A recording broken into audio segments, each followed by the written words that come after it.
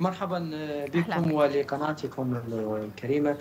يعني في الحقيقة إن ما يعني التدخل التركي في أو انتهاك التركي للسيادة العراقية ما زال مستمرا وعلى مدى سنوات طويلة.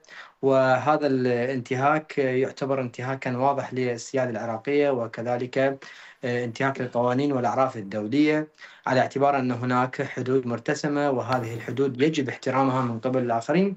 استنادا إلى مبدأ حسن الجوار وكذلك من منطلق المعاملة بالمثل مثل ما يحترم الجانب العراقي للسيادة العراقية كان على من من اللازم على الجانب التركي أيضا احترام السيادة العراقية وعدم التدخل في الجانب العراقي.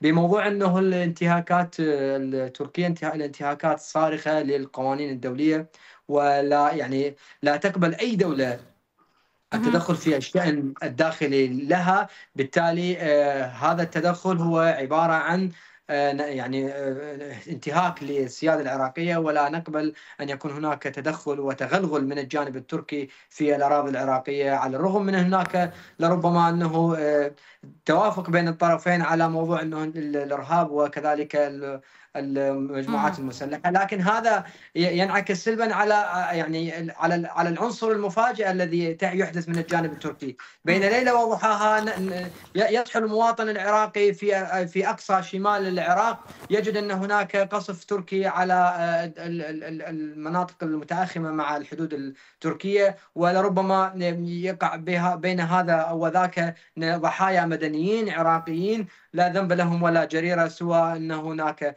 فقط يعني لو نستطيع أنه نطلق عليه هو احتلال من الجانب التركي سواء بطائرات مسيرة أو تدخل عسكري. طيب ماذا تريد تركيا بالضبط دكتور معرج؟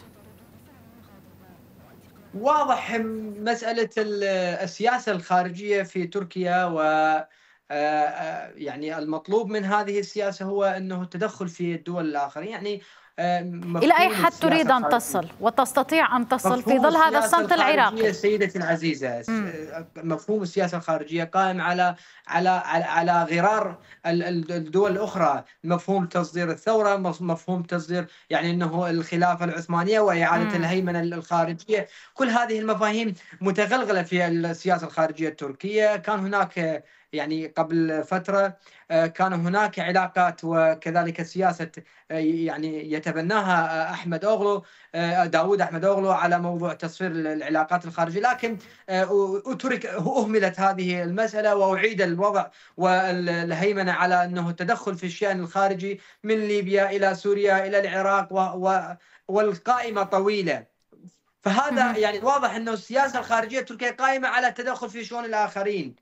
من منطلق أنه لربما أنه إعادة السطوه العثمانية أو السيطرة العثمانية للآخرين. طيب دعني مثلا أو على سبيل المثال أحد الانتهاكات التركية في العراق والتي يعني لا يوجد مقابلها أي رد فعل هو تقارير تتحدث عن توثيق استخدام القنابل الحرارية في هجمات لتركيا على منطقة الزاب بمحافظة دهوك.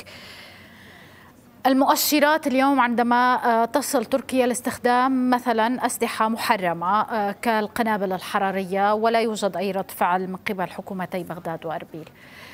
إلى ماذا يشير ذلك؟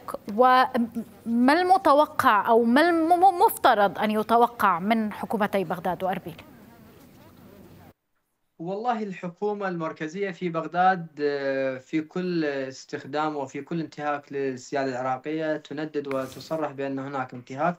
وما حصل آخرها يعني قد يكون هناك اللجوء إلى تشكيل لجنة تقصي حقائق للثبوت أو لإثبات حالة استخدام الأسلحة المحرمة دوليا وقد يثار ذلك الأمر إلى محكمة العدل الدولية وكذلك المجلس الأمن الدولي لتثبيت هذه الحالة على اعتبار أن هذه الحالة هي محرمة دوليا. وهذا هذا على مستوى الجانب السياسي. أما على مستوى الجانب يعني الواقع الفني العراقي مثل ما يعني تشاهدون أن الانتهاك الانتهاكات التي تحدث ليست هي وليدة اللحظة ولا هي حالة آنية. تحصل بين حين وآخر. قد يكون هذا يعني مثل ما تفضلت سابقا أنه قد يكون هذا الأمر هو هناك توافق واتفاقات على بين الجانبين لدرع ولوقف موضوع الجوانب الأمنية كالإرهابيين وإلى آخره، لكن هذا الأمر يجب أن يكون على على معرفة وعلى علم الحكومة العراقية لكي تكون لديها معلومات استخباراتية لتحييد المنطقة لتجنب وقوع ضحايا مدنيين. كل يعني كل هذه الإجراءات يجب أن تكون على علم ودراية الحكومة المركزية وكذلك حكومة أما أن يكون استخدام بإرادة منفردة ومن جانب واحد دون لجوء ودون رجوع إلى الجانب الآخر وهو الجانب المتضرر فهو يعني واضح أن هناك انتهاك صارح للسيادة العراقية ويجب أن يوضع حد لهذه الانتهاكات لأنه وعلى مدار السنين السابقة آه، لم يكون دور رادع للجانب العراقي. الجانب يعني الحكومة العراقية حريصة على أن يكون هناك احترام متبادل للجانبين. آه، هناك علاقات مشتركة علاقات وطيدة بين الجانب العراقي والجانب التركي. آه، علاقات اقتصادية علاقات مياه.